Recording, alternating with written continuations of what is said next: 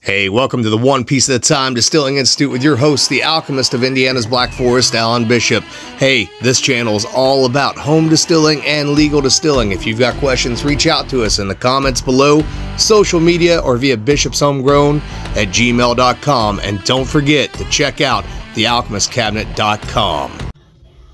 Hey, what's up, guys? Back with another Talking Head video. Uh, we'll see how many questions we can get through on this one. And uh, I do apologize for the lack of new videos lately. Um, it's just a busy time of the year, right? So, and you guys know that, you know, the holidays and all that stuff, plus trying to keep up with work commitments, new projects that I'm also working on, the book, um, and the various podcasts. It's just, it's been difficult to be able to do as many videos as I'd like to do. Um, and also, please keep questions coming to me because I have noticed that the questions have tailored off, or not tailored off, but have petered out just a little bit. And I think it's because we've answered so many of them that people are sort of, you know, they're running out of questions. But anytime you guys have questions, reach out to me, bishopshomegrown at gmail.com, of course, thealchemistcabinet.com, or the YouTube comments below and I'll be glad to answer them to the best of my ability. I do love doing this.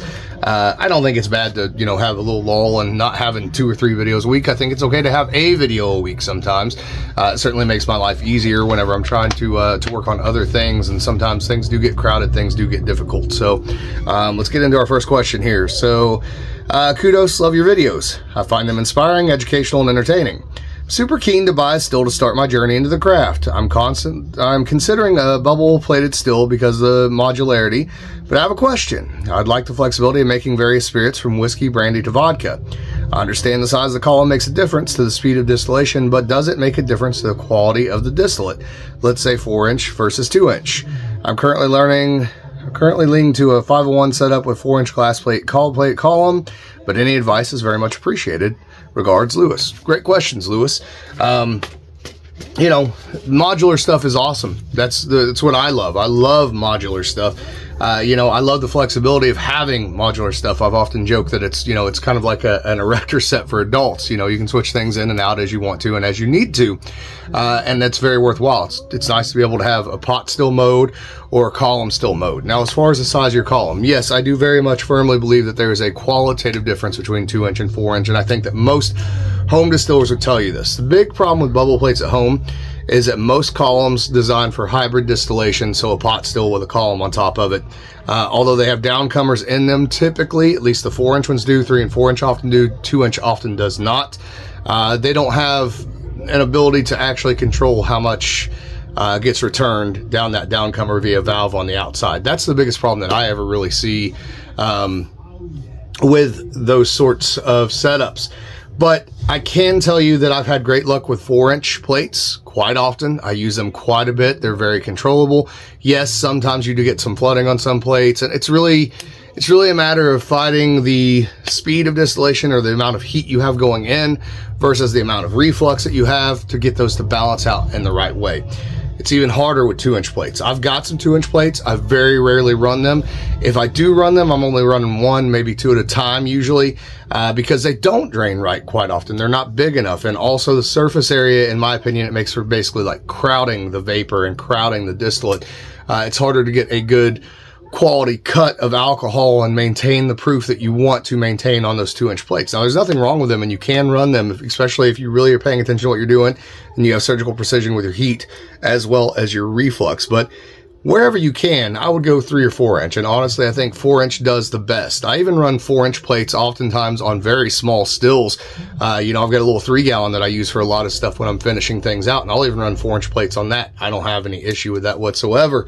Um, obviously you don't get much liquid off of that, so you got to really be paying attention, but I would always rather have that largest, larger surface area with a downcomer on it as opposed to the way those two inch bubble caps are made. So that way everything has a chance to come to equilibrium. I can control things a little bit more because it takes more vapor to actually fill everything up and then reflux and then actually get a, a liquid layer, layer on top of your bubble caps.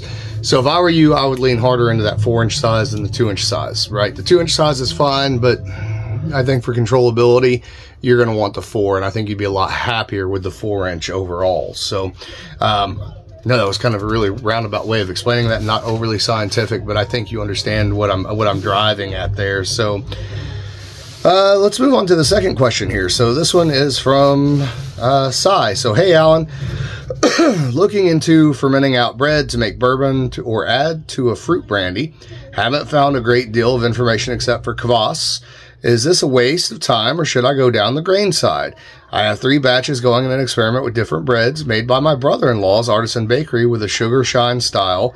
Uh, 15 liters water, one kilogram bread toasted, 2.5 kilogram sugar, baker's yeast. Any advice would be appreciated.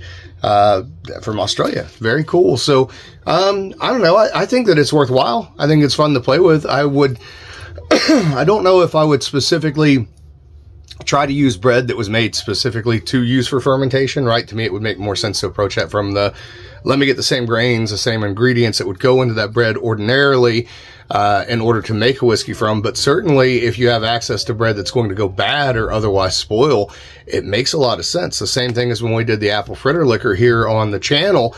You know, the idea was that donut shops probably have a waste stream of things that they can't get rid of. Let's see what we can do with them fermentation wise. So I think specifically if you can get a hold of bread that's not going to be consumed otherwise, I think it's very, very worthwhile. Um, it may even be worthwhile sometimes for breads that are made you know, not necessarily specific for distillation, but that, you know, you're doing this as a one-off, as a gift to somebody or something special, something cool. I think that's worthwhile. And I certainly think that you could use those breads in combination with brandy. Uh, I think you could get some really cool split brandy sort of flavors out of them. That's sort of the idea with the apple fritter, right? You're really looking at sort of the wheat component plus the apples, plus the sugar for the icing and how those things distill together. How do they come across? Could I imitate that flavor? Not using an apple fritter, I absolutely could. But if there are apple fritters that are in a waste stream that I can make use of, then that makes a whole lot of sense. If they're going to go to waste or ruin one way, shape, form, or the other, you might as well grab hold of those and do something with them. So I'm interested to know what you are doing and what you are coming up with and how they do turn out. It's interesting. Um, you had mentioned here as well. Uh, so where was it at? Uh, anyway, so you had three different ones going uh, by your brother-in-law's artisan bakery with a sugar shine style. So you already have access to artisan bakery. So there's probably going to be a waste stream there to some degree, right? Uh, and I think you mentioned maybe even toast and yeah, uh, bread, toasted bread. So even if you were using the grains separate from the bread, you could always toast those grains as well and get some of that similar flavor profile to come across. But again, if it's a waste stream, why not make use of it? I think that makes complete sense for what we do as home distillers or towards the history of distillation in general, where so often it's an agrarian uh, enterprise to make use of any extra stuff that you have before it does get spoiled. You know, I think that's uh, that's very very worthwhile you know, we might be able to get three questions in this one. I don't know. So let's see here. We got from Whiskey Shaman. All right, I got a question. Let's say you have a spirit that is clear and you want to proof it down before barreling. Do you do a long proof down or short? I have heard that clear spirits don't matter as much for saponification. Also, where would I find a good brandy yeast? I've been using whiskey yeast and I want to see the difference in flavor. All right. So typically, if I am going to go into a barrel, so all of our whiskeys at Spirits of French Lick actually go into the barrel. Most of them, not all of them. The bourbons all do. The ryes all do. Actually go into the barrel at 105 proof. They come off the still at 135 plus or minus a little bit, and we do proof them down without any real uh, thoughts about saponification before they hit the barrel. Because what's really happening with that saponification is over time it sort of everything esterifies, right? These are those long chain fatty acids. They need time to, to change over, etc.